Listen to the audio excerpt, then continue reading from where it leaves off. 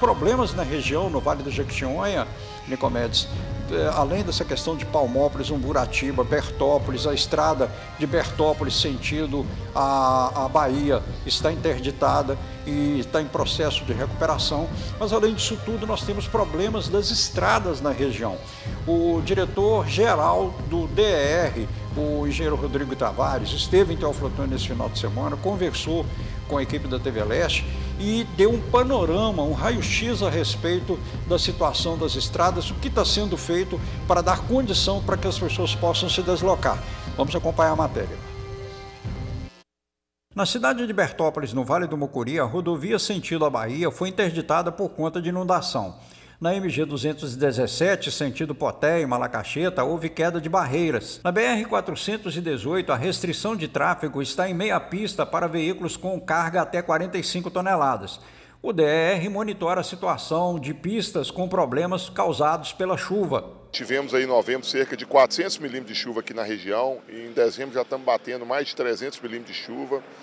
E tivemos diversos problemas é, localizados devido a essas fortes chuvas. Mas o DR está atento para algumas intervenções pontuais e emergenciais para garantir o trânsito das rodovias e principalmente o deslocamento das pessoas nas festas de final de ano. Para Rodrigo Tavares, as ações necessárias ao fluxo nas rodovias estão sendo mantidas. Tivemos na 418, né, aquele problema de erosão que está aqui ao fundo, é um problema muito sério do, do do, do, rompimento de uma barragem que causou uma erosão muito grande. Conseguimos fazer uma intervenção imediata. A princípio, tínhamos restringido o tráfego é, total de veículos e conseguimos aí, em pouco tempo liberar para veículos de até 45 toneladas em meia pista. E a gente está só aguardando é, que, o, que as chuvas né, é, deem uma trégua para que a gente possa concluir essa, essa obra e retomar a condição normal da via.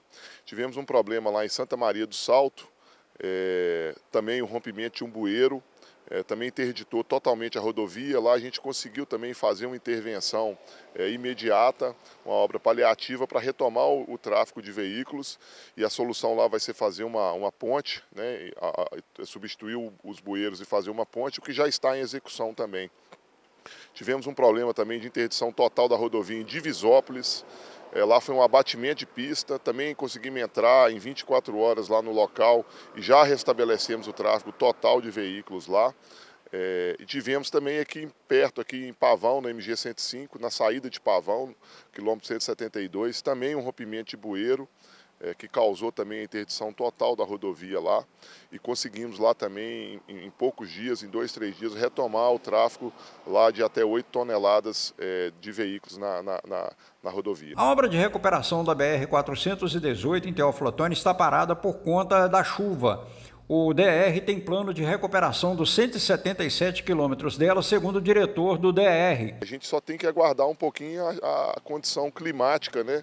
Permitir que a gente execute é, a obra total. Mas as obras já estão em execução, os projetos já estão sendo feitos e assim que a chuva permitir, nós vamos concluir todas essas obras. Muito bom, Nicomedes. E além da BR 418, MGC 418, nós temos também a boa notícia, a BR 367, lá em Santo Antônio do Jacinto.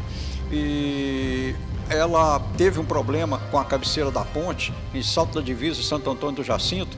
A prefeitura agiu rapidamente, conseguiu fazer a recomposição da cabeceira da ponte e aí o trânsito flui normalmente para quem viaja, mas Nicomedes, as condições dessa estrada não são boas. Então quem vai tomar essa atitude de viajar pela BR 367 sentido sul da Bahia, lá é o Nápoles, que se prepare para enfrentar dificuldades estra nessa estrada por conta da questão da chuva. A boa notícia é que a previsão de chuva para essa semana é de redução de volume. Então vamos aguardar que ela aconteça, Nicomedes, e os motoristas tenham paz e tranquilidade. Enquanto isso, é muita cautela, planejamento para as viagens. É, tem que planejar, né, Fantônio? Cautela, tudo isso é, é muito bem-vindo, né? É, para não ter aborrecimento, né? É. Eu, preferiria que a pessoa nem viajasse nesse período, mas cada qual tem a sua programação, né? A orientação é essa, nesse período de chuva, ter toda essa disciplina, né? Além das outras coisas, manutenção de carro e outras coisas mais, né? Conferir freios, né? Aquela borracha do limpador de para-brisas, ver se tem água no borrifador, é, é são coisas, cuidados essenciais, né? E muita prudência e disciplina para a gente ter um resto de ano com mais paz, né, Fantônio? Obrigado a você e Vitor Cui. Daqui a pouquinho vocês estão de volta aqui com a gente no Balanço Geral.